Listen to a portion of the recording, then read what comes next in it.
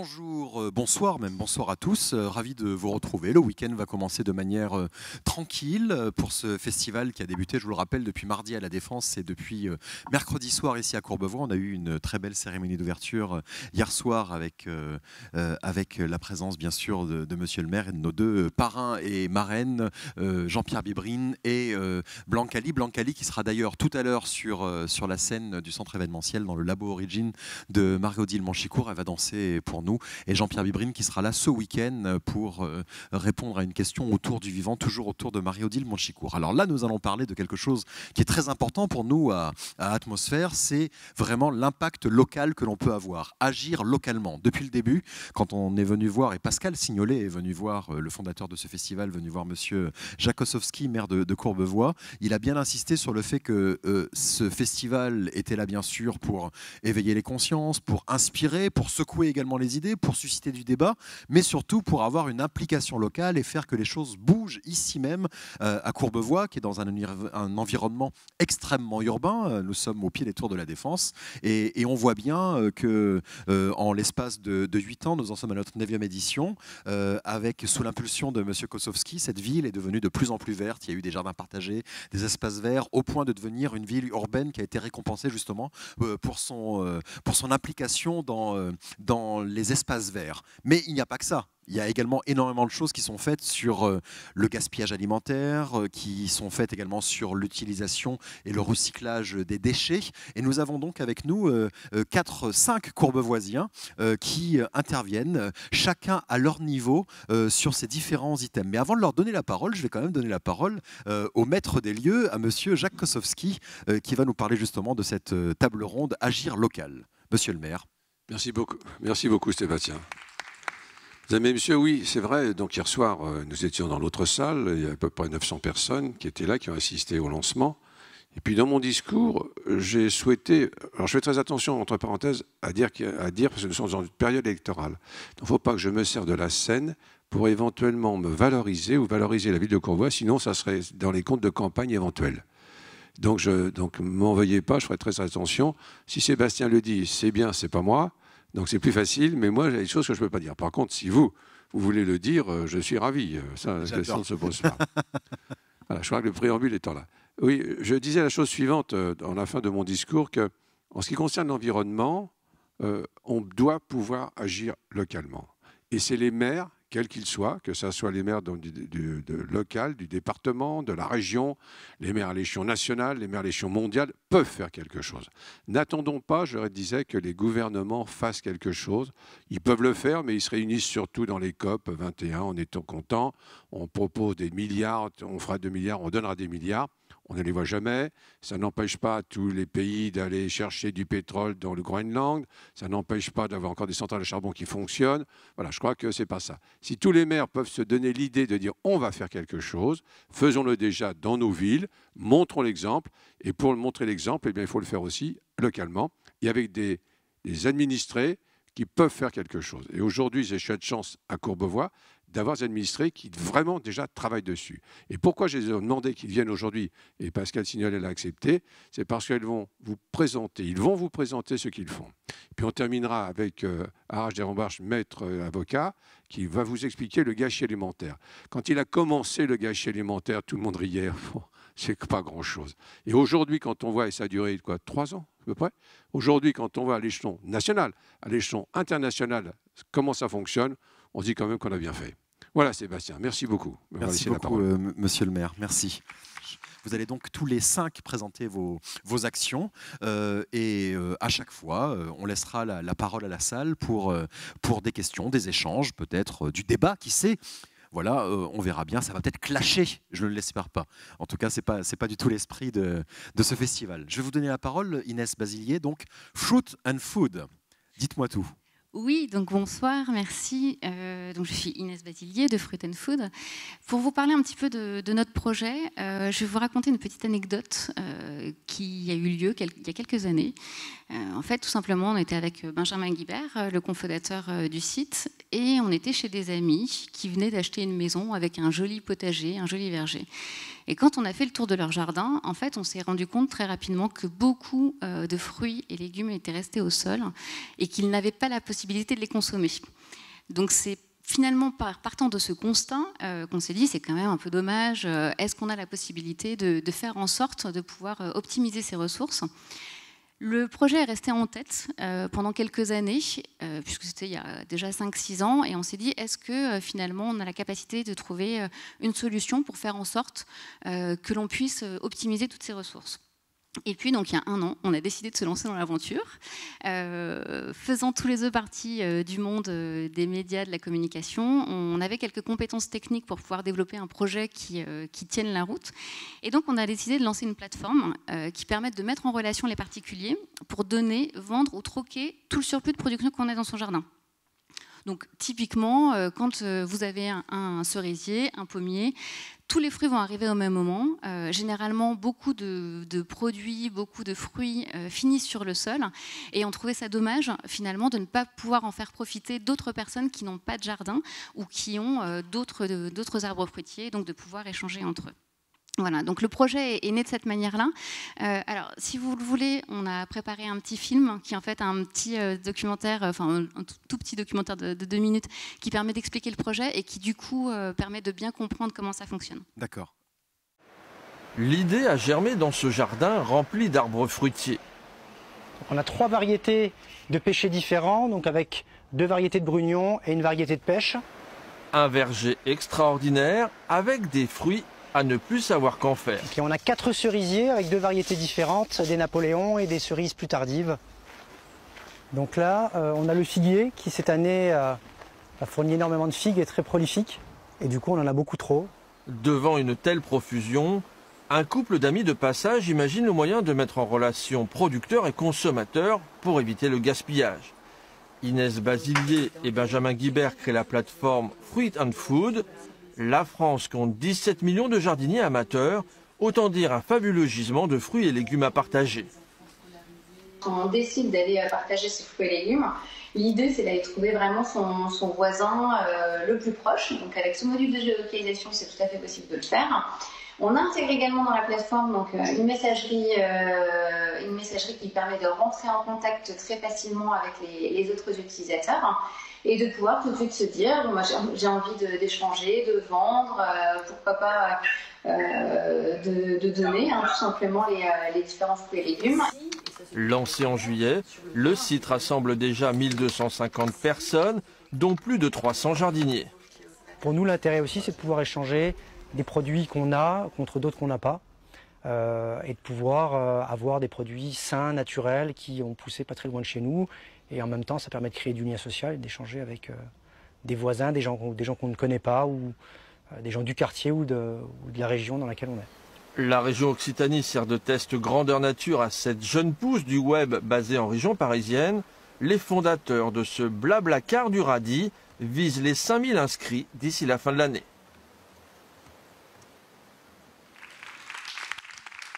Le blablacar du radis. Ça, c'est de la baseline quand même. Hein. C'est voilà le, Airbnb de la tomate. Euh. C'est pas nous qui l'avons trouvé. Oui, non, mais vous et je, serais vous, je le garderai pas. Euh, euh, alors, où est-ce qu'on ça fait un an que vous l'avez lancé? Oui, alors effectivement, on a lancé la plateforme il y a à peu près un an. Euh, donc, comme on le disait dans le, dans le reportage, donc on, a commencé par la région Occitanie, euh, puisque c'était euh, la région dans laquelle on a eu l'idée de, de, réaliser ce projet.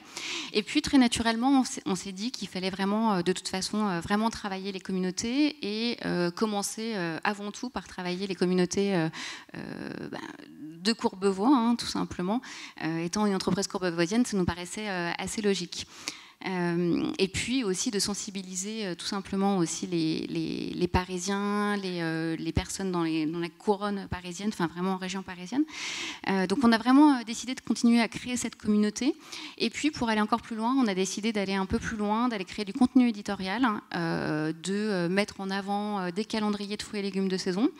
Euh, pour rappeler aux gens qu'on ne mange pas des tomates au mois de décembre, par exemple, euh, de créer des petits jeux pour les enfants, vraiment pour les sensibiliser, pour leur expliquer euh, à quoi servent les différents fruits et légumes, des petites recettes de saison très faciles à réaliser. Enfin bref, tout ça pour vraiment apporter du contenu complémentaire. Et puis dans un second temps, euh, on a vraiment eu envie d'aller à la rencontre euh, des différents utilisateurs et notamment euh, des courbes voisins, puisqu'on a réalisé donc tout l'été de nombreuses animations à la fois sur Dimanche en scène, Merci, Monsieur le maire. euh, sur Quai Livre et on est également présent aujourd'hui euh, au Festival Atmosphère. Donc on a réalisé euh, depuis deux jours des animations pour les élèves du cours préparatoire. Donc le principe des animations c'est vraiment très simple. On a créé un vélo blender, donc un vélo avec un mixeur qui est intégré dessus. Donc toujours dans cet esprit de récupération et de pouvoir optimiser tout ce qu'on a à notre disposition. Et donc avec ce vélo blender, donc qui, euh, part d'un vieux vélo d'appartement, on a branché un, un mixeur dessus. Et en pédalant, ça permet tout simplement de faire un jus de fruits. Euh, voilà, donc c'est un peu euh, euh, finalement une boucle qui se, qui se, qui se boucle parce que on utilise des fruits qui, vont, qui auraient été invendus quoi qu'il en soit, des fruits des jardins de nos utilisateurs, et puis ça permet aussi de montrer aux enfants ben, qu'on peut aussi consommer ce, ce, type de fruits, que les fruits moches peuvent aussi être consommés. Enfin bref, voilà, on a vraiment un discours qui, qui est du coup assez, assez global. Où est-ce que vous en êtes en termes de, fréquentation? Ça accroche? C'est long quand même de constituer des communautés. Euh, et en même temps, vous avez mis l'accent sur quelque chose d'important. C'est euh, alors moi, je suis de la Réunion et, euh, et ça fait rêver les gens d'avoir un manguier dans son jardin. Tout à fait, oui. Et je peux vous assurer qu'un manguier qui donne bien, ça peut vite devenir un enfer. Parce qu'en en fin de compte, vous avez votre sol jonché de mangues qui pourrissent et sont remplis de fourmis au bout de deux jours si vous ne les ramassez pas. Et ça se ramasse à coup de 50 mangues par jour. Donc euh, j'imagine que c'est la même chose pour les pommes, pour les pêches. C'est moins exotique, mais c'est exactement pareil. Donc vous êtes en plus un service utile. Pour, euh, est-ce que vous abordez les gens sur ce thème-là? Euh, si, si vous n'arrivez pas à accrocher leurs fibres solidaires, est-ce que vous accrochez leurs fibres pratiques tout simplement de se dire ah bah oui tout compte fait, ça va régler une partie de mon problème. Exactement, c'est vraiment le principe, c'est de se dire que d'une part, effectivement, on va pouvoir optimiser les ressources, on va pouvoir faire en sorte de recréer du lien social, puisque euh, ça permet de se remettre en relation avec ses voisins chose que parfois on a oublié de faire euh, avec le temps. Et puis vous faites bien de le dire parce qu'en fait, euh, c'est vrai qu'on a aussi des personnes de la Réunion qui nous ont approchés parce que c'est très naturel de le faire, de le faire là-bas. on a aussi des gens en Suisse, en Belgique qui. oui, mais surtout à la Réunion. Mais effectivement, à la Réunion, c'est vraiment quelque chose qui se fait. Et c'est vrai qu'on a un ami qui, qui, qui est parti, enfin reparti habiter là-bas puisqu'il est originaire de la Réunion. Et c'est vrai que là-bas, c'est très très naturel. Et même donc les Réunionnais cherchent aujourd'hui des solutions pour rendre euh, finalement cet échange, euh, cette transaction beaucoup plus facile. Et, en fait, j'ai posé deux questions euh, séparées. J'ai commencé par une question et j'ai mm. posé une autre question. Je vous ai fait une Guillaume Durand. Donc en fait, je reviens à ma question initiale qui était où est-ce que vous en êtes en termes de fréquentation sur euh, Alors, en termes de fréquentation, aujourd'hui, on est euh, autour de 600 jardins. on est aux alentours de 2500 utilisateurs, donc des gens qui reviennent régulièrement sur la plateforme. Alors que ce soit pour avoir du contenu, que ce soit pour acheter, que ce soit pour donner, tout simplement. donc on est, on est déjà sur, sur une jolie communauté communauté, avec euh, donc vraiment des, euh, des, réseaux qui se créent. Euh, et donc c'est vraiment tout notre objectif de pouvoir avoir un réseau dans lequel on va pouvoir avoir une offre qui répond à la demande. Prochaine étape pour vous dans votre développement? Prochaine étape, continuer à se développer. Euh, c'est vraiment la chose la plus importante pour nous. Euh, on, est aujourd'hui dans, un vrai euh, souci de développement, donc on cherche des fonds, hein, évidemment, pour continuer à se développer, pour pouvoir communiquer sur le sujet, parce qu'aujourd'hui, on n'a pas beaucoup d'outils de communication à, disposition, même si effectivement, on a la chance d'avoir la possibilité de faire beaucoup d'animations sur le terrain, d'avoir déjà pas mal de choses. mais on a vraiment besoin d'aller encore plus loin dans la démarche, parce qu'en fait, on se rend compte que dès qu'on commence un tout petit peu à communiquer, les gens sont très attirés par le, par le, par le sujet et ils ont vraiment envie de, pouvoir en savoir plus et de pouvoir s'inscrire. Merci Inès, merci beaucoup. Donc, je peux me permettre, Sébastien euh, le, le je, me permettre une petite euh, réflexion. Euh, vous cherchez des fonds, et c'est la question que je voulais vous dire. Vous avez vu peut-être que euh, sur le territoire, disons, des, des 11 villes, vous avez ce qu'on appelle un catalyseur. Le siège est à Cœur Défense. Et ce siège permet de rencontrer justement des startups comme vous, car vous êtes une startup, même s'il y a simplement un an, et ça vous permet de rencontrer aussi des institutionnels qui éventuellement peuvent vous aider financièrement.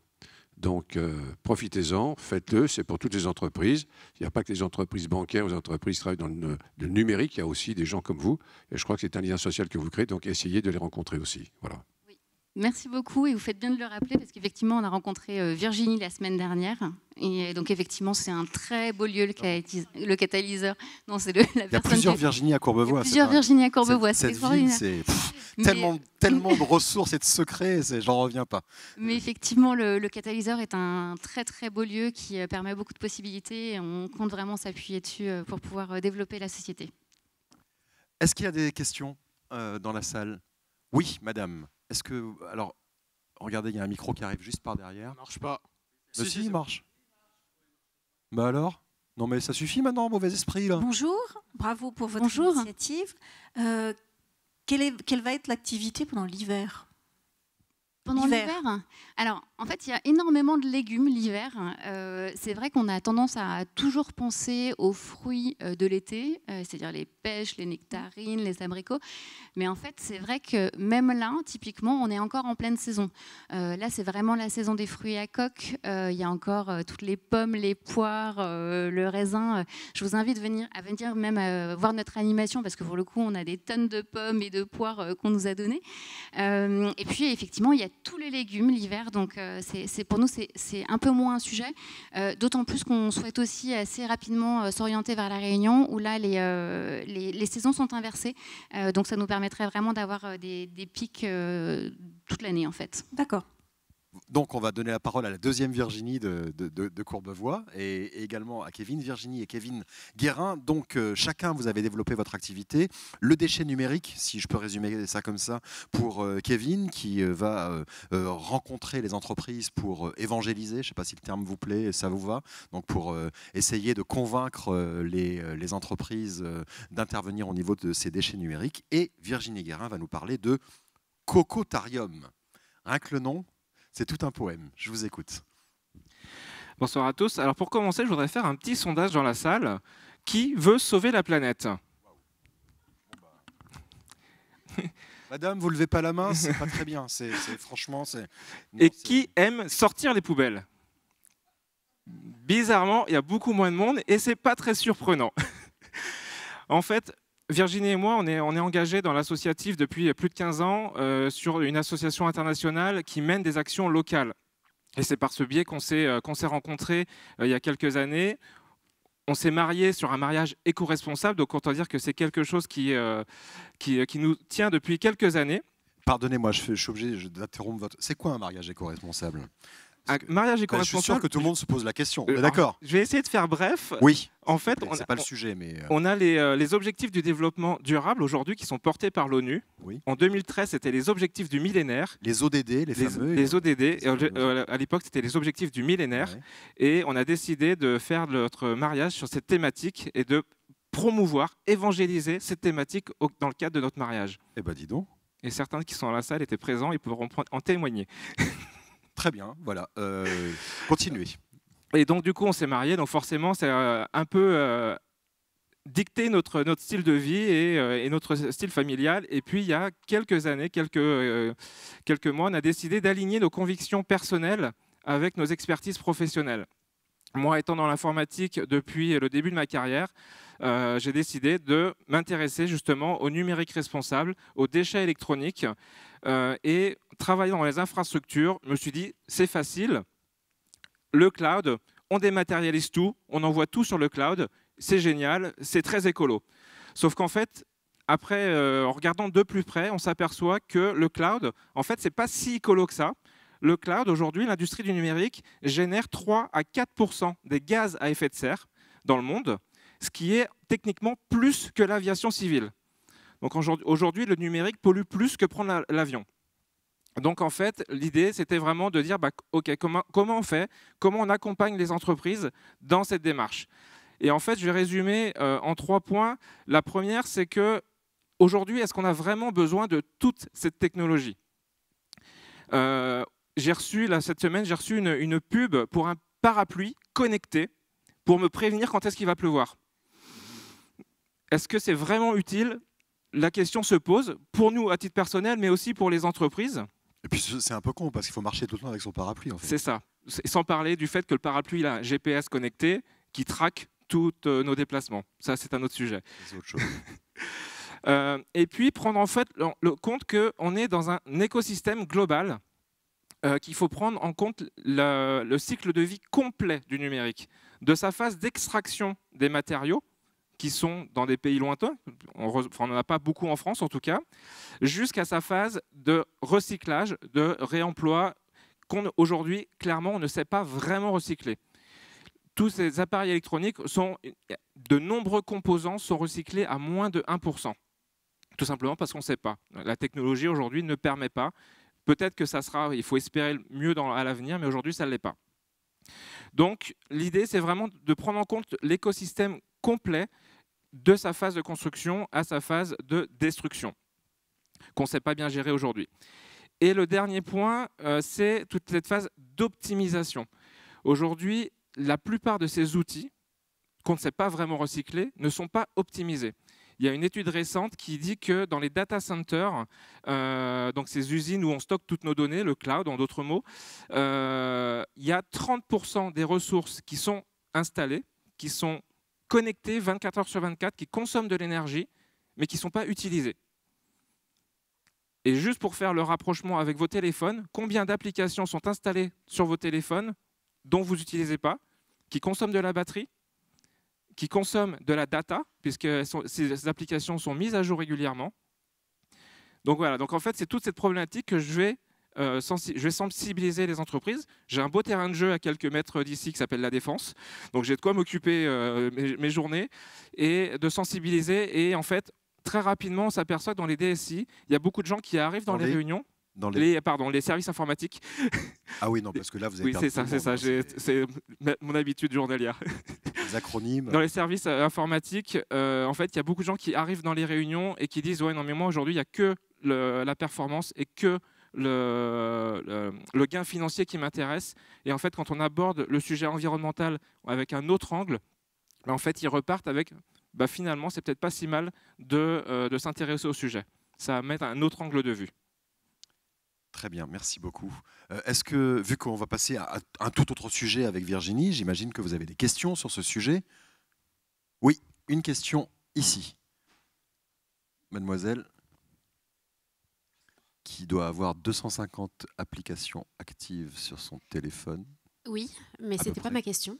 Euh, et comment réagissent les entreprises en fait, auxquelles vous vous adressez? Parce que c'est bien beau de les sensibiliser, mais est-ce qu'elles prennent des vrais engagements qu'elles tiennent? C'est ça ma question. Alors, on est, on est vraiment au tout début de la sensibilisation. Euh, là, j'ai la chance d'accompagner une entreprise actuellement qui veut vraiment faire des choses dans ce sens.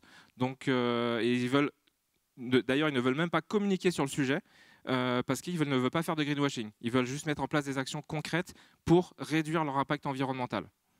Donc il y a quelques entreprises qui sont prêtes dans la démarche, mais ça reste aujourd'hui encore marginal euh, et il y a encore beaucoup de travail de sensibilisation euh, pour convaincre ces entreprises. D'autres questions sur ce sujet? Oui, au premier rang, et puis ensuite monsieur là-haut.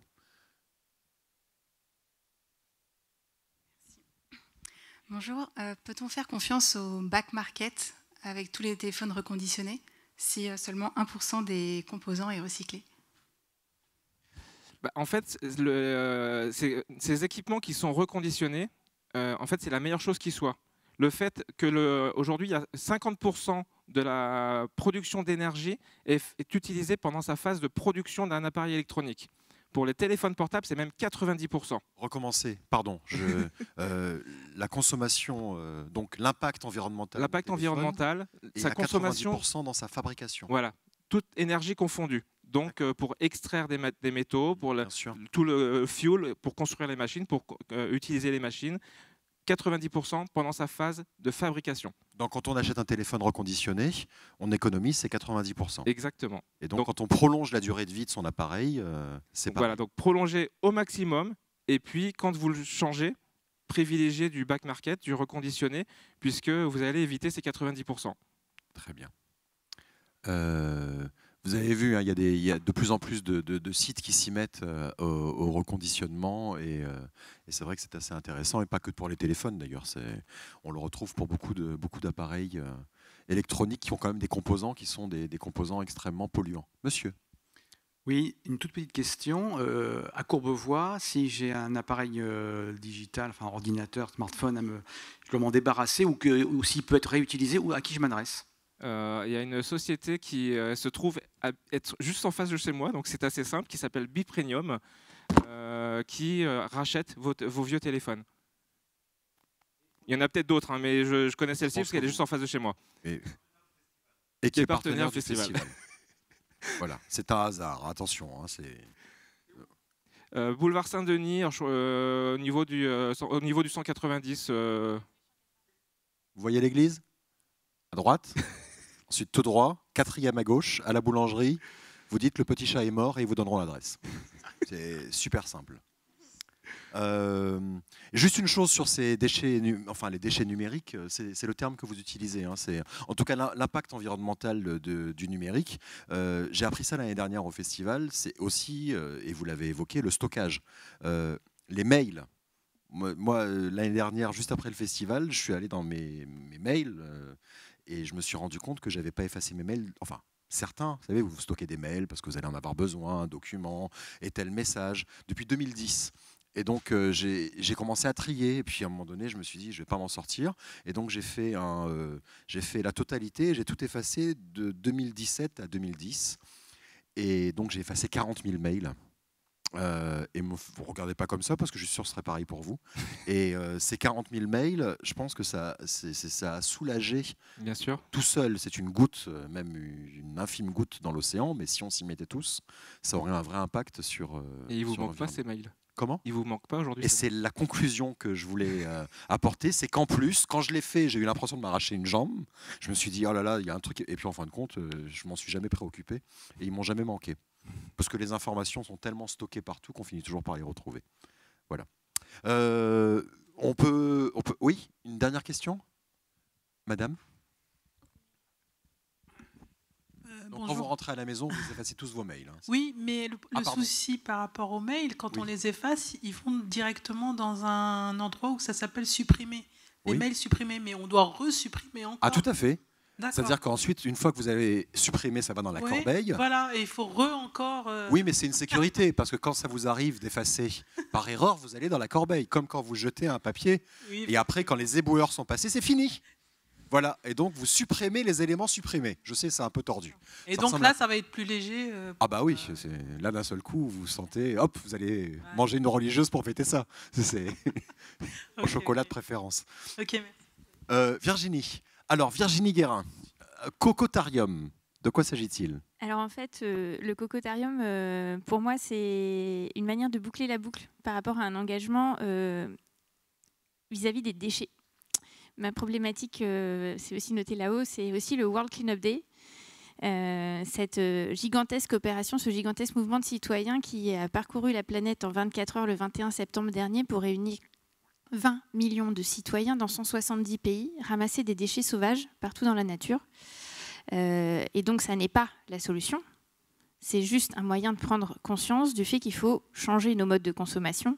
Et donc le cocotarium est un excellent moyen pour ça, puisque euh, avec le cocotarium, donc euh, ces petites cocottes qui sont d'ailleurs présentes sur la cuisine centrale, à côté de la cuisine centrale donc de Courbevoie, c'est avec les poules faire des actions pédagogiques et ludiques pour favoriser et comprendre l'intérêt du tri des biodéchets. Aujourd'hui, un Français produit 365 kilos d'ordures ménagères par an, dont 50% sont en fait des déchets organiques. Donc, ils pourraient retourner à la terre et donc nourrir la terre, donc potentiellement euh, favoriser le développement de plantes, etc., etc. Et donc avec les poules, on donne nos déchets, on récupère des œufs, ça c'est quand même vachement sympa, et en plus on a un petit animal de compagnie, euh, et on propose en fait ces euh, poulaillers donc dans les entreprises, dans les collectivités, dans les écoles, avec cet enjeu d'éduquer les citoyens au tri des biodéchets en anticipation de la loi de 2025 qui imposera le tri des biodéchets à la source avec un concept ludique qui nous permet aussi d'aborder dans les entreprises une thématique qui est le bien vivre au quotidien en entreprise, savoir communiquer avec ses collègues, parce que oui, quand on envoie trois mails pour caler une réunion alors qu'il suffirait de traverser le couloir, globalement, euh, voilà. Et, donc, euh, on propose donc euh, aux entreprises de créer un nouveau, euh, nouvel engagement en fait autour de la responsabilité sociétale et du développement durable par un objet très concret qui rend absolument efficace la visibilité sur l'économie circulaire, c'est-à-dire comment mon produit, quel parcours de vie il a, quel cycle il a, et puis, euh, ça nous permet de toucher de doigt euh, le vivant, ce qui n'est pas simple forcément en ville, hein, puisque la nature sort là où on veut bien la laisser sortir.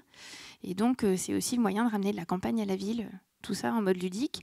Et je sais que les cuisiniers de la cuisine centrale sont déjà tous très fans de leur petite cocotte qu'ils vont voir chaque jour, au-delà du job qu'ils font pour, pour nourrir les agents municipaux. Vous amenez des, des, poulaillers dans les entreprises. Oui. On en installe un la, mais la semaine prochaine au siège de Carrefour. Mais c'est pas simple quand même en ville. Euh, un poulailler, ça, ça, ça fait du bruit, ça, ça, ça, ça sent un peu. Ça... Puis les poules, il faut qu'elles vivent quand même. Bah, euh, on les empêche pas de vivre. Hein, euh. Non, non, mais j'entends, mais il leur faut de l'espace, c'est ça que je veux dire. Bah, donc en fait, alors pour, pour ce qui est de, de, la nuisance sonore. Vous comprenez ce que je veux dire hein, C'est-à-dire qu'on a, moi j'ai des amis en effet qui vivent en banlieue parisienne, qui ont un jardin, qui ont un, un poulailler au fond du jardin, et en effet ils m'ont expliqué ça, c'est que c'est pratiquement zéro déchet. Ça bouffe tout. Donc, euh, enfin, tout, euh, j'entends bien, c'est tout ce qui est organique, j'entends. C'est pas de plastique. Ça, pas trop. ça heureusement, heureusement. et donc, comment ça marche en alors, Comment ça marche en fait? Le principe de nos, de nos poulaillers, euh, c'est d'avoir d'abord un certain nombre d'éléments. Un, on n'a pas de coque, ce qui fait que c'est très bruyant, c'est le coq. Ça, c'est le point numéro un. Et c'est interdit en ville. Donc comme nous on amène est interdit en ville. Absolument. Comme nous on amène de la campagne à la ville, on fait en sorte qu'ils puissent vivre en ville, donc pas de coq. D'accord. Donc ça c'est le premier point. Donc les nuisances sonores sont plutôt euh, relativement euh, faibles. Évidemment, elles peuvent caqueter un peu. non mais je ne pensais pas forcément aux nuisances sonores. Voilà. La nuisance olfactive, en fait, euh, nous avons des tapis de chanvre à l'intérieur qui permettent de récupérer les fientes de poule, qui sont elles-mêmes un excellent fertilisant. D'accord. Euh, et que l'on change régulièrement, puisqu'on a en fait tout un processus qui permet euh, d'entretenir euh, le cocotarium et donc les poulaillers qu'on propose facilement pour que ça ne prenne pas de temps. Donc avec une équipe de 8 personnes, en gros, il faut que la personne elle passe deux fois dans le mois. Donc c'est assez réduit. donc on en a un à la Courbevoie, mais on en a donc un qui va être installé au siège de Carrefour et géré directement par les collaborateurs du siège. Euh, et on en a d'autres qui sont euh, installés euh, dans des quartiers gérés par des régies de quartier. Donc, et donc, ça recrée du lien social ou dans l'entreprise ou dans la collectivité. Et à la fois, c'est un objet utile et ludique. Voilà. et donc là, on a, presque une dizaine en Ile-de-France. Nos prochains enjeux, c'est euh, faire en sorte de basculer sur un modèle euh, potentiellement de location, euh, qui va, puisqu'en fait, on accompagne en fait ces poulaillers de tout un concept d'animation pour rendre ça vivant et ludique autour de la biodiversité, du bien manger et du zéro déchet évidemment, puisque moi, c'est aussi mon enjeu. Et donc, c'est pour moi, le cocotarium, c'est vraiment une suite logique dans la solution pour pouvoir faire en sorte d'avancer sur des nouveaux modes de vie plus responsables et plus durables. Combien de poules dans le cocotarium là qui va être installé chez Carrefour, par exemple? Alors, on a un Paulette by Cocotarium qui contient quatre poules. Un quoi, vous dites? Un Paulette. Un Paulette, d'accord. Comme, comme votre grand-mère, peut-être euh, Non. Non. mais je, vois, je, vois, je vois le concept. Je vois, je vois tout à fait le concept. et on a un cocotarium qui, lui, est un objet beaucoup plus grand et plus luxueux, qui fait 5 mètres 20 de haut, qui est conçu comme un kiosque d'antan qu'on a dans les parcs urbains. C'est d'ailleurs du mobilier urbain en métal qui contient, lui, 10 poules. D'accord. Euh, et qu'on propose et qui est un, un, objet euh, totem pour euh, une collectivité ou une entreprise résolument engagée sur le développement durable. Et donc là, on sort de l'objet greenwashing, on, on, est vraiment dans l'action concrète, comment on avance tous les jours au quotidien et comment on met ça en place près de chez nous. Quoi. Monsieur le maire? Oui, comme vous dites, on a donc un cocotarium. On a d'ailleurs le journal France 2, on a parlé dernièrement. Et nous, alors, il y a une question que je voudrais vous poser. D'abord, c'est vrai qu'on a ces poules. Les enfants sont ravis de voir des poules. Il y a quatre poules. Nous, euh, Parce qu'à côté, il y a le centre de loisirs. Ah du coup, euh, c'est à la fois. Et même les grandes personnes, d'ailleurs, s'arrêtent euh, quand on les voit. Simplement, ils m'ont offert quatre œufs. Alors, il faut que je vous pose la question. J'en ai une qui a une coquille légèrement bleu ciel.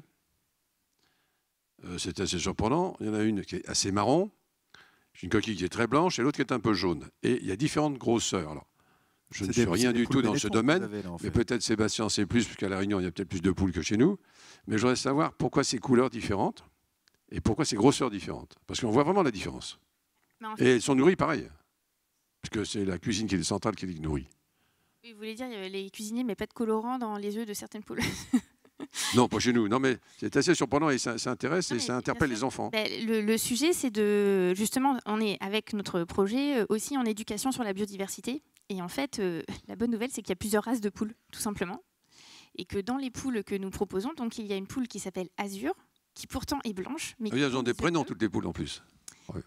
Voilà. On recule devant rien. Il y a Marcy, ah, des, œufs, Paris. Euh, Azur a des œufs bleutés c'est des yeux bleutés, exactement. On a euh, une poule euh, donc, euh, qui est d'origine, qui, qui est la poule blanche. Qui la poule blanche, d'accord. Blanc, enfin beige très clair, enfin vraiment très clair. On a une poule qui pond des œufs chocolat. Et donc c'est une autre race de poule. Mais évidemment qui n'ont pas un goût de chocolat qui n'ont pas un goût de chocolat, qui est un vrai œuf. Et donc, euh, le bénéfice pour les cuisiniers de la cuisine centrale, c'est que chaque semaine, ils repartent avec leurs œufs frais, pondus par leur poule, ah, dont ils s'occupent tous les matins. Et il disait, euh, je, vais je vais reprendre du coup les, propos de Stéphane, hein, euh, qui, qui passait, on était très contents, on a fait le journal de France 2 de, de, de Laos donc, à 20h. Qui est Stéphane? Stéphane, c'est le cuisinier de la cuisine ah, bah centrale qui parce était que, dans le reportage. Parce que sinon, lui, c'est Jacques. Hein. Enfin, moi, ça fait, moi, ça fait 8 ans que je le connais. Je l'ai toujours appelé Jacques. là, c'est, j'étais perturbé un petit peu. Euh, voit qui est Stéphane, puisque la cuisine centrale, euh, du coup, délivre des repas euh, régulièrement pour, les élus. Et, donc, il expliquait qu'ils y vont en binôme avec les collègues et qu'en fait, ça leur donne vraiment un vecteur de communication complètement autre et qui s'attachent en fait vraiment aux poules. Euh, ils viennent à 7h30 du matin, euh, alors qu'ils commencent à 5h, faire leur petite pause, voir comment elles vont, euh, etc. Donc il y, a vraiment une, autre dynamique qui se met en œuvre. Et donc un, autre rapport à, la nature, évidemment. des questions dans la salle? Peut-être que oui. Monsieur, tout en haut.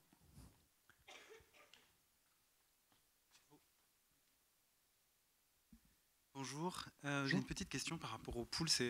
Alors c'est un, un, projet qui m'a l'air très intéressant, mais moi je reviens de la campagne et euh, j'ai vu des poules à la campagne, mais des poules en entreprise, j'ai peur qu'elles, je sais pas, qu'elles deviennent dépressives ou ça me paraît extrêmement étrange d'emmener des poules dans une entreprise.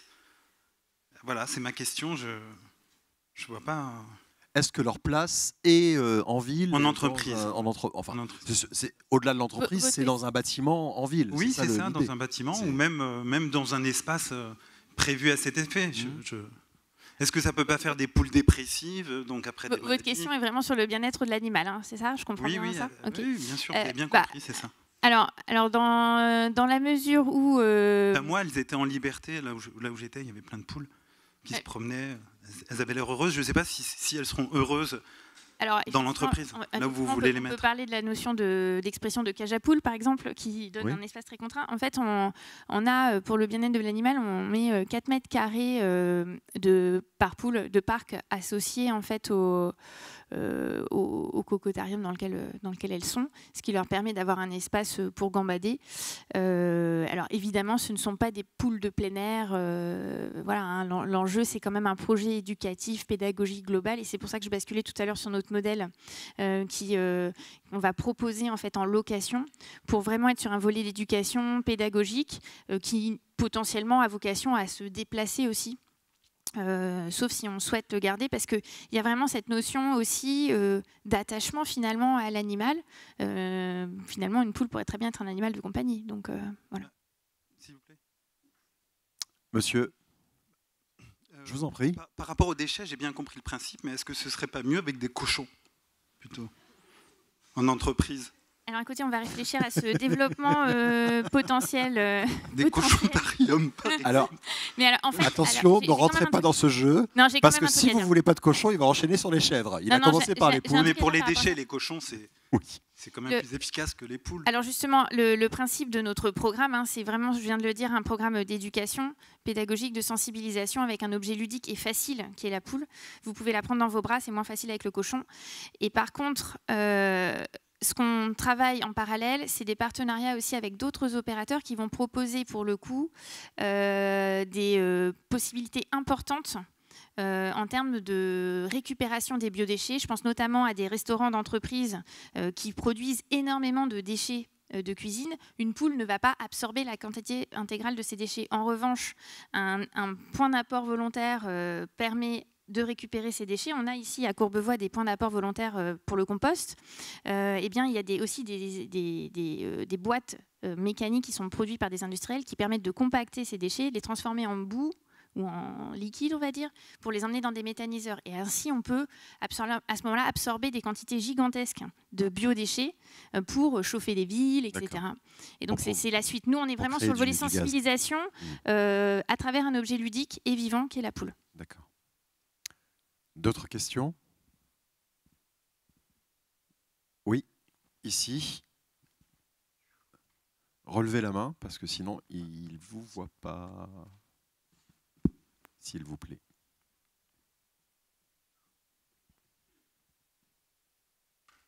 Est-ce que vous sentez le poids du regard de la salle sur vous le temps que vous arriviez? Ouais, je le sens Un petit peu quand même, hein. un petit coup de pression. Quelles sont les, euh, les, spécificités d'une entreprise Qu'est-ce qu'elle doit avoir pour pouvoir accueillir ce, poulailler Un extérieur, euh, un certain espace, je suppose euh, comment c'est Quels sont les paramètres? Alors en fait, euh, il faut qu'on ait effectivement l'espace nécessaire. Alors ça dépend de quel objet on veut. Si c'est un cocotarium qui fait 10 mètres carrés de surface plus 5 mètres 20 de haut, il faut un certain espace. Le petit Paulette, lui, fait 1 mètre 20 par 1 mètre 60 et on y adjoint en fait un parc de 8 à 16 mètres carrés. Donc ça peut très bien être un patio en cœur de bâtiment ouvert sur l'extérieur euh, ou ça peut être euh, une, langue de terrain. Euh, on n'a pas besoin d'énormément d'espace, en fait, une quinzaine de mètres carrés peuvent suffire.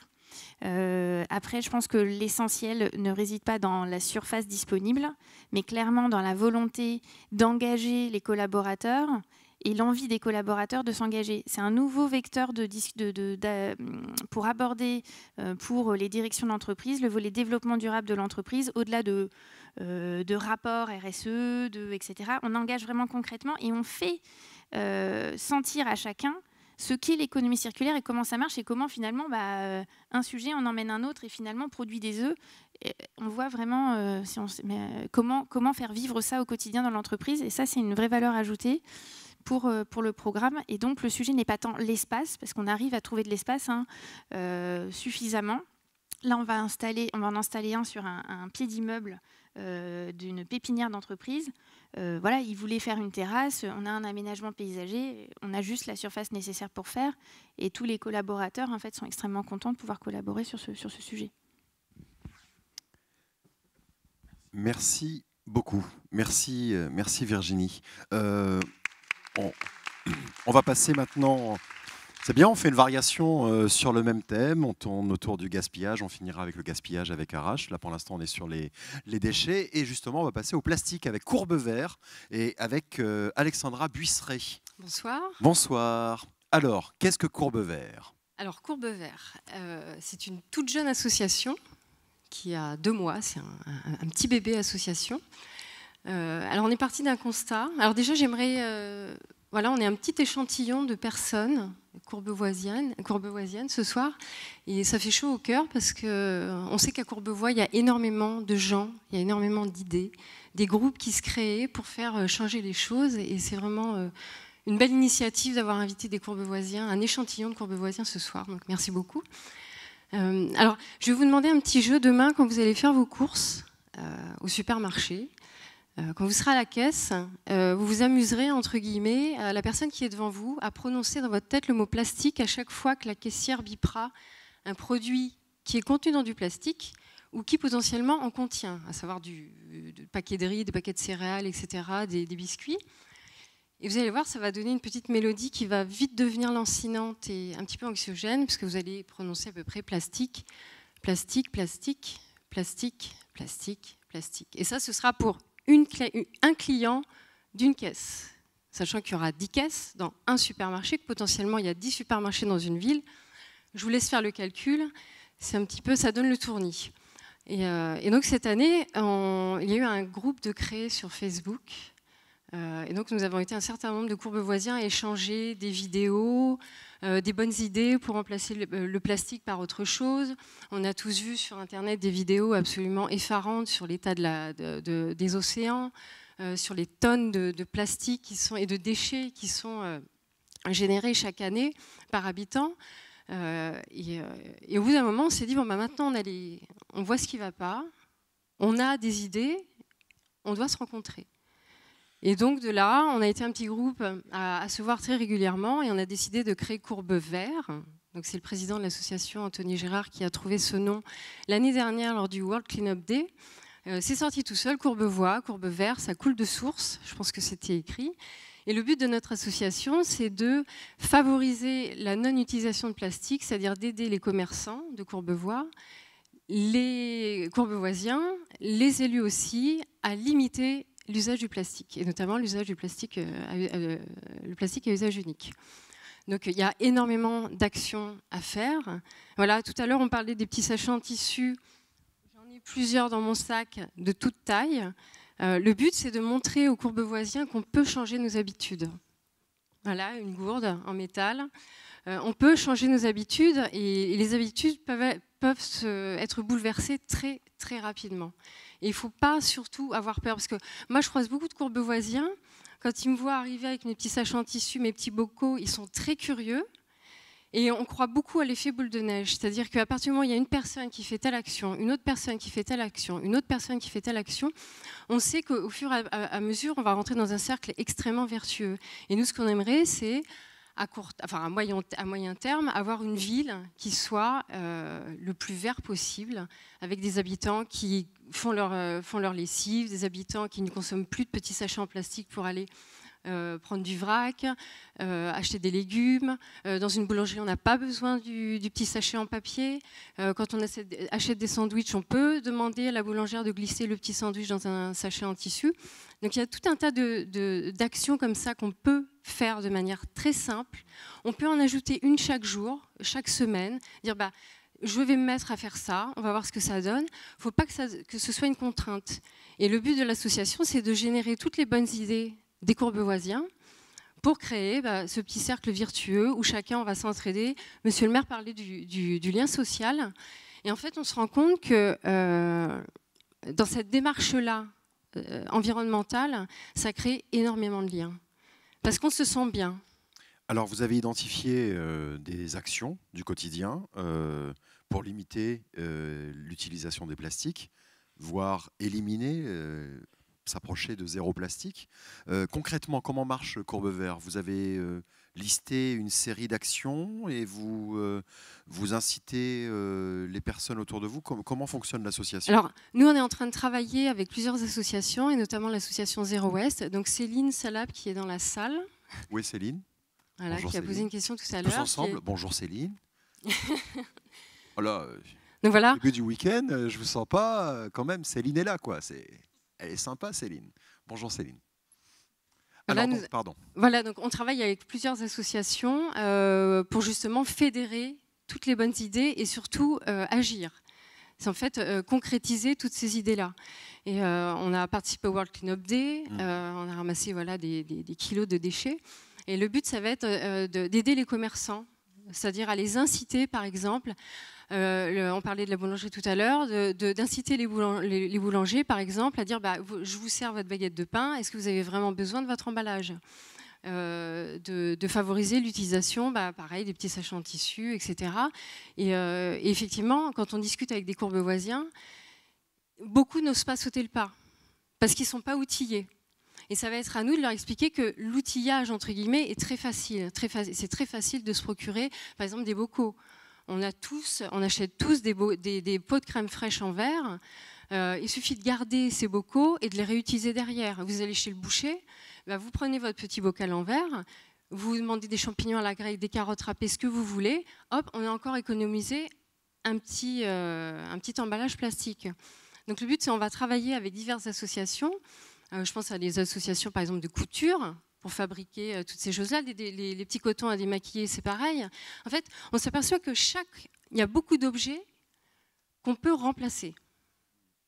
Et à partir de ce moment-là, quand on fait un bilan à la fin de la semaine de tout le plastique que nous n'avons pas, alors consommé, on ne consomme pas du plastique, mais que nous n'avons, qu'on a évité, qu'on a refusé, euh, chacun, on peut faire une énorme, enfin, énormément d'économies déjà et puis surtout, on, bah voilà, on, fait, on fait du bien à la planète petit à petit.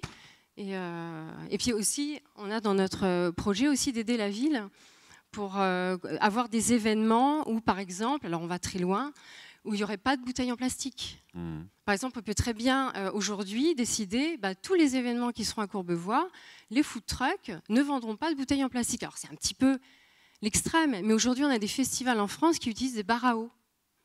Alors évidemment, il faut l'aide de la municipalité parce que ces barres à eau, ils sont directement reliés au système euh, de distribution d'eau de la ville, hmm. donc il faut forcément un accompagnement de la ville chacun rapporte sa gourde, et c'est pareil, ça fait économiser énormément, énormément de plastique.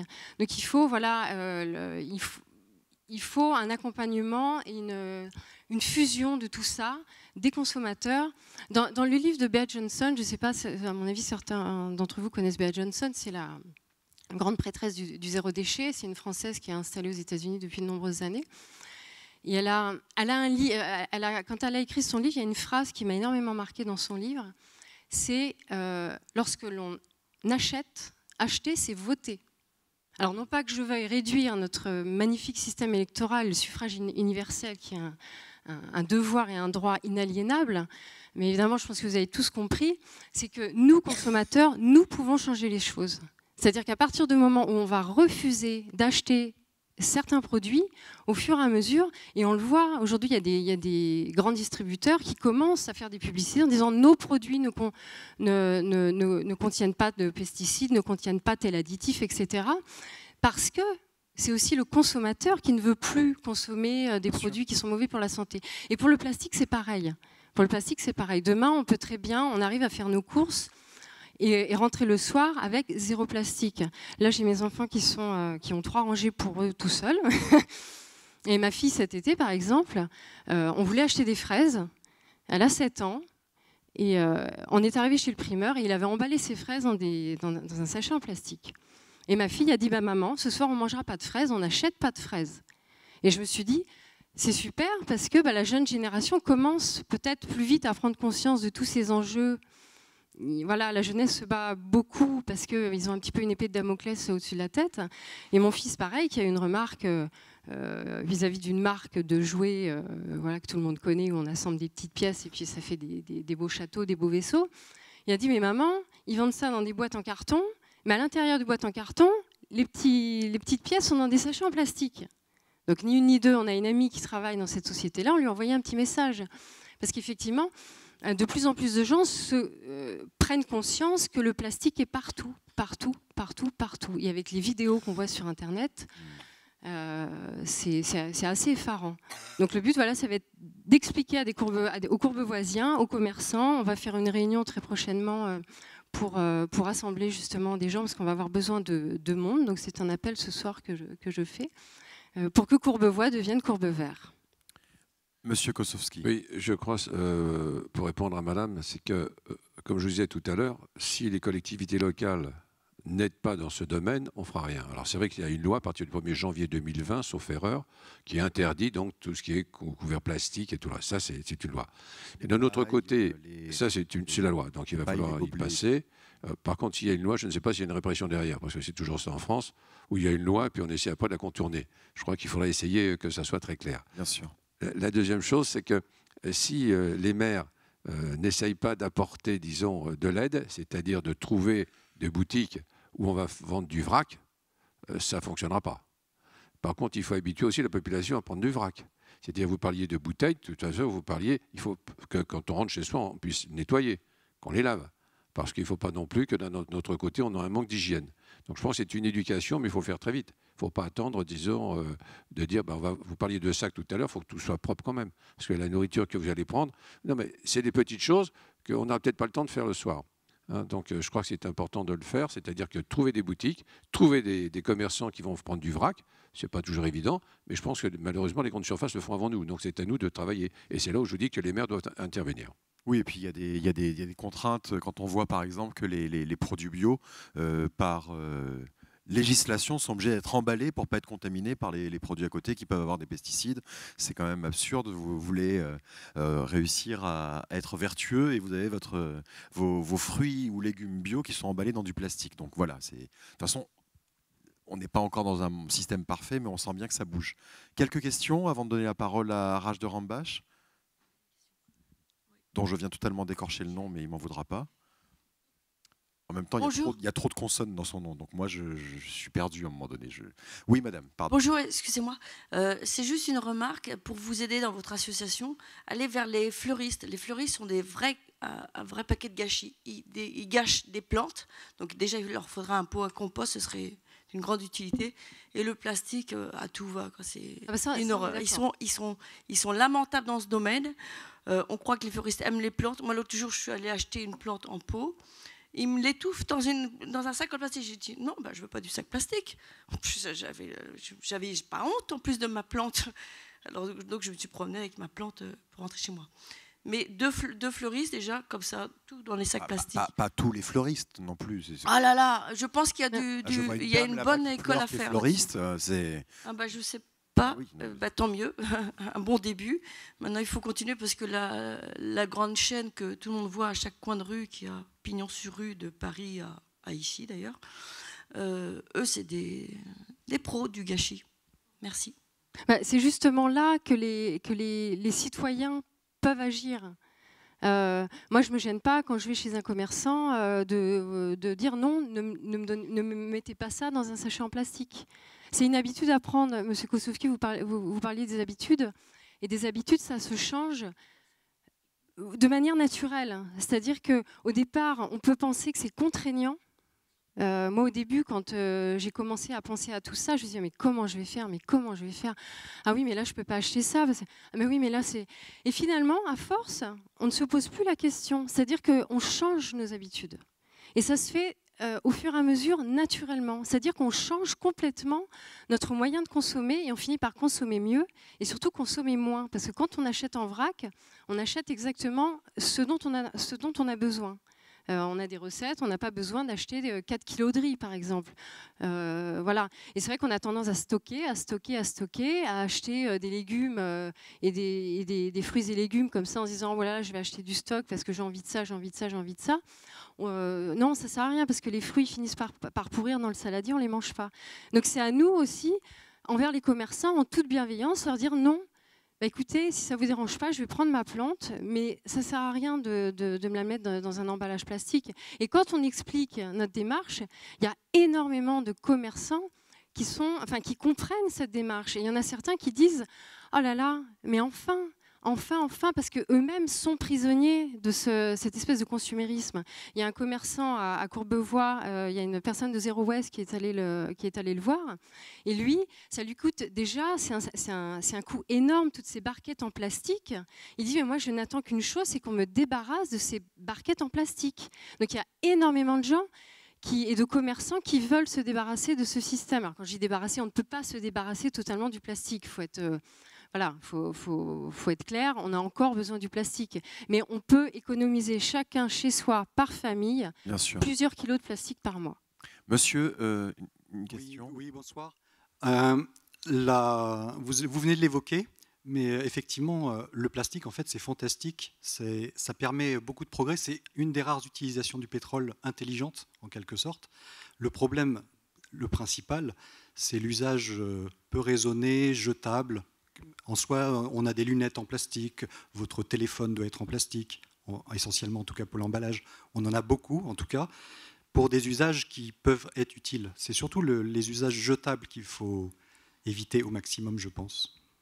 Oui, c'est pour ça que tout à l'heure je parlais de quand, on va faire les courses, euh, c'est la première action à faire parce qu'elle est très concrète, extrêmement concrète et surtout on a beaucoup de plastique à usage unique euh, quand on va faire nos courses et on peut très facilement les remplacer.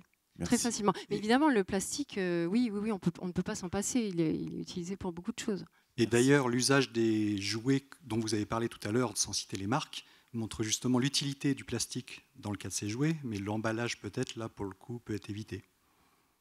Merci, merci beaucoup. Merci, merci à vous. Merci en tout cas, euh, Alexandra. Et puis longue vie à, à Courbevert qui, euh, qui vient donc d'arriver euh, et qui vient de naître. Donc, je ne vais pas massacrer son nom, Arrache de Rambarche. Ça va, je l'ai bien dit? Euh, donc, euh, qui a porté une loi il y a euh, trois ans maintenant sur le gaspillage alimentaire. Donc, Arrache, comment est venue cette idée et puis surtout, où est-ce qu'on en est de, cette histoire? D'abord, je, voulais féliciter les Courbevoisiens. Quand ce sont des Courbevoisiens qui amènent tous ces projets-là. ce qui prouve que notre ville est incroyable. Sont des projets, vous les additionnez, on peut en faire une économie verte globale. Et, et, ça donne vraiment beaucoup de perspectives et d'enthousiasme d'entendre tout ça. Donc déjà bravo. Et merci à Pascal Signolet euh, pour l'organisation avec son équipe, pour le festival Atmosphère, avec évidemment euh, Sébastien. Et monsieur le maire, merci beaucoup de nous, de nous rassembler ici devant vous. C'était votre idée de ramener des courbes voisins euh, pour penser local et montrer en fait que, que les problématiques en fait, qui sont parfois personnelles peuvent concerner l'intérêt général. Et donc évidemment, moi, mon problème était personnel au départ, parce qu'à l'époque, quand j'avais ce problème, il n'y avait pas Internet. J'avais pas beaucoup d'argent et euh, j'ai grandi à Courbevoie. J'ai fait l'école ici André Malraux. J'ai fait le collège Pompidou, le vrai collège Pompidou, l'ancien. Et ah, parce qu'il y a, y a non, c'est reconstruit, mais pour les anciens. D'accord. Voilà, c'est euh, la filière euh, historique. Et le lycée Paul Lapic. Le canal historique, c'est le truc. Et le lycée Paul Lapic qui, que tout le monde connaît et qui n'est pas encore des trucs, qui ne sera pas, j'espère. Et, et donc, j'avais pas beaucoup de sous. J'ai pris mon indépendance à l'âge de 19 ans pour mener mes études. J'étais un cancre, faut dire la vérité. Je suis arrivé euh, tant bien que mal à mes études d'avocat. Et, euh, et, le problème, c'était euh, c'était le pouvoir d'achat. C'est-à-dire que je n'avais pas beaucoup de sous, je gagnais que 800 euros à 1500 euros par mois. Et j'avais un studio qui était à rue de l'Industrie, qui faisait 20 mètres carrés. Et je voyais chaque soir, en fait, depuis mes 19 ans, le Monoprix qui était juste à côté, qui jetait de la nourriture dans les poubelles et euh, moi j'avais pas de sous en fait. Et donc ça me mettait en rage. Et je me suis dit euh, quelle est la solution pour pouvoir un jour euh, faire changer les choses? Je me suis dit bon, il y avait deux possibilités en réalité, soit bifurquer vers les choses qui sont répréhensibles, c'est-à-dire les, délits, le vol et tout ça, soit essayer de positiver son énergie. Et positiver son énergie, c'est clairement contribuer à ce que son problème à soi puisse être réglé est une chose, mais le problème des autres puisse être également réglé. Donc je me suis dit, je vais me faire élire. Et, euh, j'ai rapidement en fait voulu euh, faire des partenariats avec des, supermarchés, mais les supermarchés n'étaient pas très euh, enclins à, donner. Et je vais vous montrer pourquoi. Si on peut montrer le reportage de l'AFP.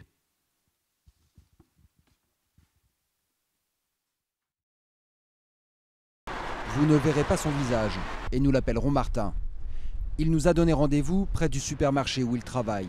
Chaque soir, Martin estime qu'entre 10 et 20 kilos de nourritures invendues sont jetées à la poubelle. Il faut savoir qu'on a trois conteneurs, trois gros conteneurs, et ces trois gros conteneurs tous les matins sont remplis et jetés. Ça va aller de la viande aux légumes qui sont encore bons mais euh, qui, ont une tâche ou quelque chose. Il y a beaucoup de personnes qui viennent, qui s'exclament de, savoir euh, que tout ça est jeté, que ça pourrait, ça pourrait être redistribué à des associations ou donné aux personnes. Pour se défendre, le directeur de la franchise invoque la réglementation.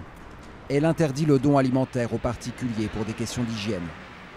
Mais un homme a trouvé une faille dans la loi. Arrache de Rambarche est un élu municipal à Courbevoie. Récupère ensuite, je vais aller là-haut. Il a passé un partenariat avec une enseigne alimentaire. Lui et une dizaine de bénévoles récupèrent la nourriture invendue à l'arrière de ce supermarché. Madame, venez s'il vous plaît. Madame, venez. Salade c'est comme si vous ou n'importe quel citoyen allait acheter en fait dans un supermarché à 20h30 et consommer le soir même. C'est ça en fait l'astuce. C'est que je contourne en fait la chaîne de froid là. En une semaine, l'opération d'arrache de Rambarche a fait le tour de la ville. Des retraités, des chômeurs ou tout simplement ceux que l'on nomme la classe moyenne viennent chercher de quoi manger au jour le jour. On a trois enfants, j'ai perdu mon travail d'informaticien, j'ai 60 ans et puis je ne peux plus trouver de travail. Voilà. J'ai pris euh, des yaourts pour mes enfants, des pains au chocolat. C'est des choses que vous pourriez acheter si vous ne pouviez pas acheter Ah non, je ne peux pas, ça coûte trop cher. À l'avant du magasin, une vingtaine de personnes, dont beaucoup de femmes avec des enfants, attendent de quoi manger pour ce soir. Tous ont un point commun, elles ont faim. Vous voulez de la salade? Oui, c'est Tenez madame, pas de problème. J'ai eu cette idée parce que c'est un vécu, j'ai eu faim à l'âge de 20 ans, mes, je faisais mes études de droit. Et euh, donc je mangeais vers 16-17 heures pour essayer de couper le déjeuner et d'avancer vers le dîner. Euh, lorsque vous gagnez 17 euh, à 20 ans entre 600 et 700 euros par mois, c'est très difficile. Donc je rêvais d'avoir quelqu'un qui puisse apporter discrètement un sac pour essayer de combler ce, ce manque de pouvoir d'achat. À 35 ans, C'est désormais lui qui apporte des sacs aux plus démunis. Toujours dans son fief, le QG de la finance, le quartier de la défense. Sous les tours, il y a des parkings où vivent des dizaines de sans-abri, souvent trop fiers pour venir chercher à manger directement dans le supermarché. Oui, faut pas jeter, bien sûr. Oui, c'est sûr. Même, euh, même comme, euh, j'ai fini ma baguette au sandwich, je n'ai jamais jeté à la poubelle. Ne pas jeter pour ne pas manquer. C'est le but de la pétition lancée par Arrache de Rambarche. En une semaine, elle a recueilli près de 100 000 signatures, dont celles de députés de tous bords politiques. Arrache de Rambarche sera reçu mercredi matin à l'Assemblée nationale. En sept jours, cet élu de banlieue parisienne aura sans doute réussi à mettre son grain d'âme dans la future loi Macron. Là, les images que vous voyez, c'est donc on est en janvier 2015. Et euh, donc j'ai utilisé en fait les moyens du bord, donc les réseaux sociaux. Et, euh, euh, la loi a été d'abord proposée dans un amendement au Sénat. Évidemment, on a en face de nous les lobbies, l'agroalimentaire. donc ça a été retoqué d'une obligation à une possibilité de donner. On a reparti en fait dans des procédures législatives. À l'époque, Monsieur le maire était euh, le député de Courbevoie. Il avait pris la loi. Et euh, on est en pleine période de Coupe du Monde de rugby là. Donc, euh, donc moi j'étais un jeune rugbyman. Je lui, ai pris la, je donné le ballon et lui en fait voilà l'a proposé aussi à l'Assemblée nationale. Et c'est un peu ça aussi le travail de citoyen, d'élu et, en fait voilà de ce qu'on appelle l'intérêt général réellement, c'est-à-dire que chacun de nous tous ici travaillons en équipe pour pouvoir servir l'intérêt général. Et ça, c'est quelque chose de très important. Euh, et c'est la dernière loi pour l'instant qui a été votée à l'unanimité en un an. La précédente loi qui a été votée à l'unanimité, et c'est ça qui est très drôle, c'est la loi de, de, Monsieur le maire sur euh, euh, les, grèves, sur le service minimum. Donc c'est assez drôle de voir qu'à Courbevoie, les deux précédentes lois qui ont été votées à l'unanimité viennent de Courbevoie en réalité. Et cette loi, en fait, qui a été votée donc en février, 3 février 2016, Arrêtez un peu, on est en campagne électorale, c'est un peu gênant. C'est la réalité. Ah oui, Deux dernières lois. Sinon, là, les frais de campagne, c'est terminé. Hein. c'est juste des faits.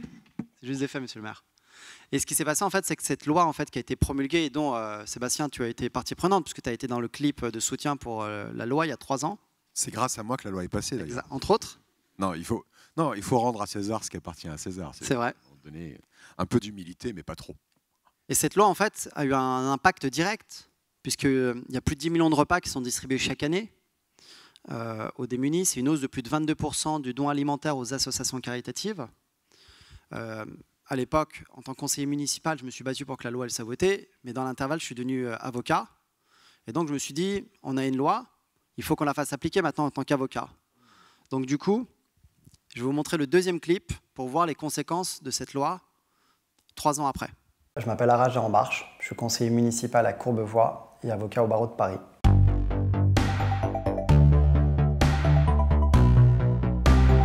Le 3 février 2016, une loi a été votée grâce à la pétition que nous avons proposée, nous avons soutenu que chaque supermarché redonne ses invendus alimentaires à l'association de son choix. Depuis, plus de 10 millions de repas sont distribués tous les soirs aux associations caritatives. C'est plus de 22% du don alimentaire. Il faut aujourd'hui l'étendre à l'Union européenne. Nous avons lancé une pétition européenne avec de nombreux membres et activistes de l'Union européenne parce que sur notre continent, 500 millions d'habitants habitent et sur ces 500 millions, 100 millions ont faim et vivent sous le seuil du niveau de pauvreté. En redonnant les invendus alimentaires, nous pouvons aider immédiatement des gens qui ont faim, des familles, des enfants, des mères de famille. Voilà. J'interpelle le président de la République, Monsieur le Président Emmanuel Macron. Vous êtes le leader européen, proclamez. Vous êtes notre chef d'État en France. Proposez une directive européenne à la table du Conseil européen. Tous les chefs d'État membres de l'Union européenne vous suivront. Il faut aider les habitants et les citoyens de l'Union européenne. Notre pétition aujourd'hui dépasse 1,5 million de signatures. Ça veut dire qu'il y a une attente du peuple européen. Nous avons voulu créer une application 2.0, l'application de Food Life, grâce à Marc Simoncini. Cette application gratuite, chacun peut la télécharger et intégrer les données pour prouver que chaque supermarché fait un partenariat avec une association. Nous avons porté plainte également contre le supermarché Leclerc à dans les Landes parce que ce supermarché continuait à jeter plus de 50 kilos tous les soirs dans les poubelles et à javelliser ses invendus alimentaires. À tous les députés européens qui viennent d'être élus, d'abord félicitations, vous avez beaucoup de travail et vous aurez tout notre soutien. Mais je vous envoie un message solennel. Il faut proposer cette loi française contre le gaspillage alimentaire au Parlement européen. Nous l'avions proposé à l'époque. Aujourd'hui, vous avez une chance historique de la faire voter. Les citoyens européens s'en rappelleront et vous remercieront.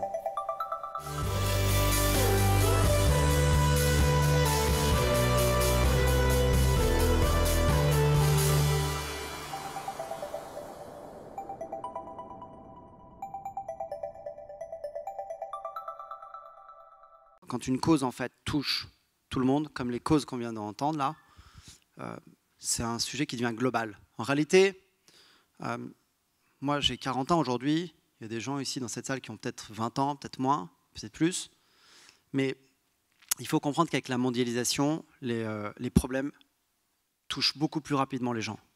On le voit par exemple avec l'environnement, avec le climat. On le voit par exemple avec ce qu'a fait Virginie, ce qui est extraordinaire, par exemple le ramassage des, des plastiques à partir du moment où chaque être humain sur cette planète trouve une passerelle commune, c'est là-dessus on pourra tous se retrouver. Et moi, je pense vraiment profondément que le 21e siècle, ce siècle-là, ça sera ce siècle où il faudra construire des passerelles entre les uns et les autres. Sinon, on va tous s'autodétruire. Et ça, c'est très important de revenir à l'humain. Voilà. Où est-ce qu'on en est euh, au niveau euh, européen euh, La loi fait des petits? Alors, mercredi, c'est la journée mondiale de l'alimentation. Mm. et journée nationale de la lutte contre le gaspillage alimentaire, ce mercredi-là, mm. il faut impérativement, mais impérativement, que cette loi devienne une loi européenne. C'est pour ça qu'il faut faire pression, il faut la signer, cette pétition. Il faut... Parce que pour l'instant, il y a des lois nationales Oui. dans différents pays Dans les 40 pays que j'ai visités dans ces quatre dernières années, il y a plus d'une dizaine de pays qui l'ont ratifié, qui l'ont promulgué. maintenant, c'est que ce soit une Il faut que l'Union européenne, aujourd'hui puisse la faire. Mais qu'est-ce qu'il faut faire? Bah, il faut en fait euh, signer encore cette pétition, il faut la relayer, il faut surtout faire pression sur le président Emmanuel Macron pour qu'il la propose sur la table du Conseil européen. Je l'appelle tout de suite. C'est parti. Euh, change.org, j'imagine, pour la, pétition? Absolument. Ok, super. Euh, merci beaucoup. Merci beaucoup, Arash. vous avez des questions, des commentaires sur cette question du gaspillage alimentaire?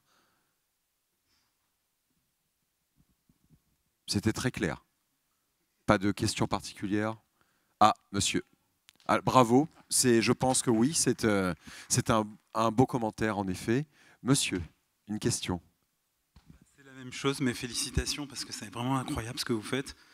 Euh, j'avais entendu parler de ce, projet de loi, mais je ne pensais pas que vous étiez à l'initiative et que c'était une personne de Courbevoie. Donc euh, c'est vraiment magnifique et je suis très fier de faire partie de cette ville puisque c'est un projet qui me touche particulièrement parce que j'ai vécu un peu le, même parcours à une époque. Voilà, merci.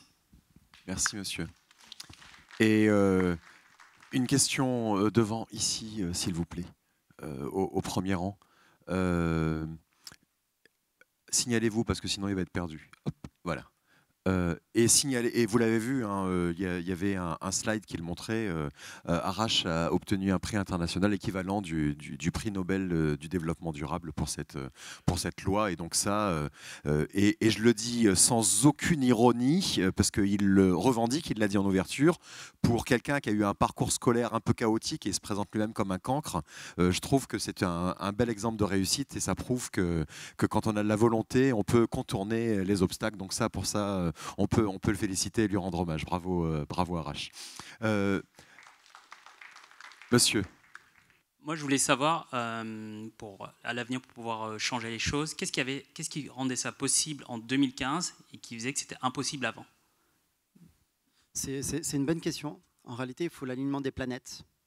faut, c'est quoi l'alignement des planètes? C'est Vous avez l'inspiration sociale en 2015, vous avez 15 millions de Français qui ont plus d'argent sur leur compte en banque après le 15 de chaque mois.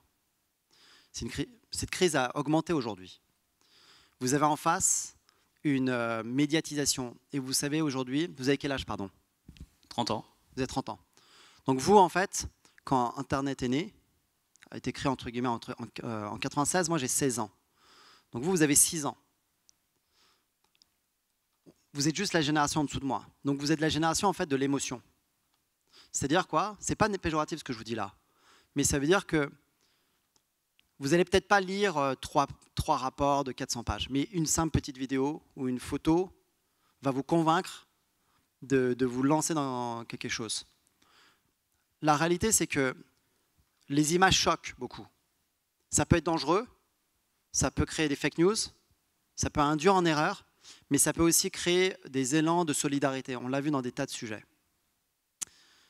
À partir de ce, contexte euh, des, des, on va dire euh, des, nouvelles technologies, grâce à ces nouvelles technologies, à ces, euh, outils, comme on l'a vu d'ailleurs, tous, tous, tous ces citoyens engagés l'ont fait aussi par ce biais, vous avez vous collez en fait l'absurdité, cette absurdité qui est mise en relief par les réseaux sociaux, et vous y apportez une réponse.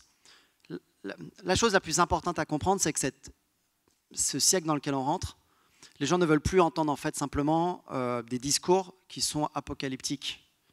On veut des réponses, il faut du positif. C'est l'énergie positive en fait qui vous amène à ramener des réponses et faire bouger les lignes. Et dans ces 40 pays que j'ai visités sur ces quatre dernières années pour essayer de convaincre, j'ai vu des enfants d'Afrique du Sud, j'ai vu des enfants en Argentine, euh, en Indonésie, un peu partout. Ils, ont ils sont exactement les mêmes que nous ici. Ils ont les mêmes aspirations, ils ont les mêmes rêves, ils ont les mêmes problèmes. Et ça, c'est ce qui est très important, c'est que lorsque vous agissez ici, à Courbevoie, l'impact que vous avez, l'impact peut être de l'autre côté de la planète. Et au final, moi, je suis très heureux quand une personne de notre ville me dit, je ne savais pas que c'était vous, et à limite, je dirais, tant mieux. Le plus important, vous savez, nous, on n'est que de passage. On est et on va mourir un jour. C'est la vie. Mais le plus important, en fait, c'est le sens que vous laissez, parce que le plus important, voilà, c'est l'altruisme et le sens que vous laissez pour que chacun puisse monter ensemble. Ça, c'est ce qui est le plus important. Alors, regarde, c'est ce sujet du gaspillage alimentaire, mais vous avez d'autres sujets ici. Et ça, c'est le plus important. L'alignement des planètes, c'est ça en réalité. L'absurdité, vous y apportez une réponse. Et ça, ça vaut pour des tas de sujets euh, sur lesquels euh, on pourra en discuter ensemble. Merci beaucoup. Euh, merci. Une dernière question. J'ai une soirée court métrage après euh, qui, euh, qui va. Voilà, en discothèque. Et je sais pas, non, je ne vais pas en discothèque. Je n'ai plus l'âge. non, puis surtout, j'ai Pascal Signolet au premier rang qui, qui fait des gros yeux. donc je me méfie. C'est le boss. Hein, vous savez, tout ça ici, c'est lui. C'est lui qui a construit ce bâtiment avec ses petits bras musclés. Enfin voilà, il faut se méfier de Pascal quand il s'énerve.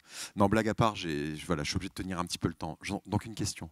Est-ce que cette loi est amenée à concerner d'autres euh, commerçants, pas que les supermarchés? Oui, absolument. Alors, euh, c'est un point très important que vous soulignez. Il faut savoir en fait que ce que vous avez vu là et cette loi concerne le troisième point d'une chaîne. Ce qu'on appelle cette chaîne, c'est une chaîne alimentaire. Le premier point, c'est la production, les agriculteurs. Le deuxième point, c'est la transformation. Le troisième point, c'est la distribution, c'est ce que vous voyez là. Et le quatrième point, c'est la consommation, c'est-à-dire nous. C'est ce troisième point qui est un scandale. Pourquoi? Parce qu'en réalité, c'est un problème beaucoup plus profond. J'ai combien de temps? Deux minutes? Une minute? Allez, deux. Deux. Vous avez, une, vous avez un lobby qui est la grande distribution. On en a besoin parce qu'on doit aller se nourrir. Très bien. Mais la grande distribution être 80% du monopole de la distribution. Du coup, en face de ça, ce qu'on appelle les circuits courts, les circuits alternatifs, bio et entre autres, n'ont pas de monopole. Du coup, lorsque vous avez le petit producteur, ce petit producteur vend à perte à la grande distribution, avec des cahiers des charges assez euh, restrictifs. Sur les prix, ils vendent à perte. Sur la qualité, euh, les pesticides qui amènent des maladies cardiovasculaires, qui amènent le diabète, le cancer et ainsi de suite, sur la nourriture. Vous avez également la quantité, sur ce qu'on appelle euh, le gaspillage. On arrive sur le deuxième point. Quand on parle de la transformation, je, prends, vous prends l'exemple notamment des abattoirs. Un animal sur trois dans un abattoir est jeté dans la poubelle. Un animal sur trois. Pourquoi? Parce qu'on considère que le cochon ou le cheval ou euh, je ne sais quoi d'autre, le mouton par exemple, ne conviennent pas en fait à nos modes de consommation, ce qui est absurde. Tout ça en fait fait que je devais en fait aller, et c'est pour répondre à votre question, sur ce qu'on appelle le gaspillage alimentaire sur les supermarchés pour l'étendre sur le reste. Vous avez une loi qui va être appliquée en 2021 sur ce qu'on appelle le doggy bag. En 2021, 1er juillet 2021, le doggy bag va être obligatoire pour la, pour la restauration collective, les restaurants, les supermarchés. Alors, les chefs et les restaurants le font déjà. Euh, ils ne nous ont pas attendu, ils n'ont attendu personne, mais c'est symbolique. C'est-à-dire que c'est le mode de consommation qui change. Vous avez également ce qu'on appelle la restauration scolaire. Moi, j'ai fait des propositions à Monsieur le maire, au conseil, au conseil régional dont je suis chargé de mission aujourd'hui, pour qu'on puisse changer tout ça. Euh, pour la petite enfance, pour les écoles. On a euh, des propositions qui sont sur la table. Elles vont être appliquées, elles doivent être appliquées. De toute façon, on a vocation à les faire appliquer. On a les hôpitaux, on a les boulangeries. Tout un pan de notre société doit changer. Ce que j'ai mis là, par exemple, sur l'application sur euh, The Food Life qu'on a créée, il y a des tas d'autres applications. Vous avez des tas d'applications, Phoenix et ainsi de suite, qui permettent la relation avec les commerçants. Et c'est important, et c'est une idée que je donne notamment aux plus jeunes. Aller vers des business qu'on appelle la green economy. Vous allez avoir un pan euh, d'emploi là-dedans. Vous avez des emplois qui sont en train de disparaître, caissiers par exemple ou d'autres, mais vous avez ces emplois-là qui vont vous permettre, vous, en tant que peut-être futur entrepreneur, de créer un pan d'emploi incroyable. Voilà, et c'est ça ce siècle. C'est on peut lier euh, l'emploi avec la, euh, le développement durable.